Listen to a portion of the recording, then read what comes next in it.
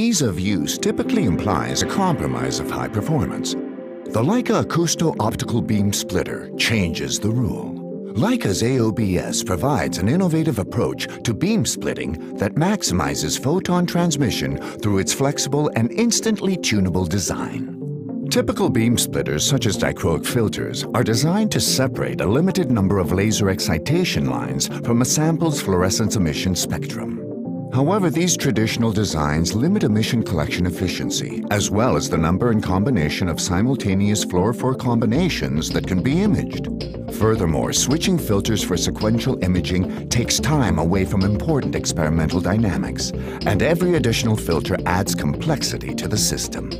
Additionally, switching filters provides the potential for selection error. Leica's AOBS is a single device that uses an optical crystal to provide selective spectral reflection and transmission characteristics that result from waves induced within the crystal by a mechanical transducer. The AOBS can adjust these spectral characteristics within 10 microseconds by simply changing the frequency of the wave within the crystal.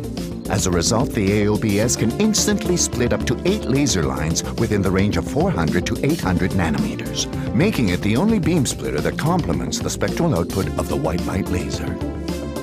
Additionally, the AOBS automatically tunes the selected laser excitation lines to ensure consistent, fast, and easy imaging of simultaneous fluorophore combinations.